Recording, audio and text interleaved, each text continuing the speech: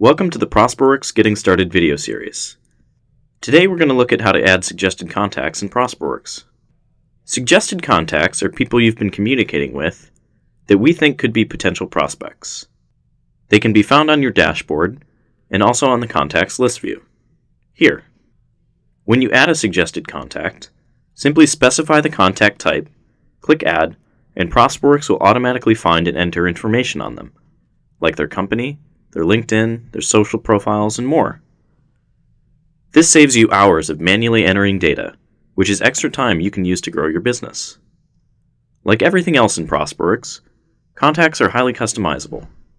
You can change what contact types you'd like to see, and add custom fields if you have additional information your business would like to track.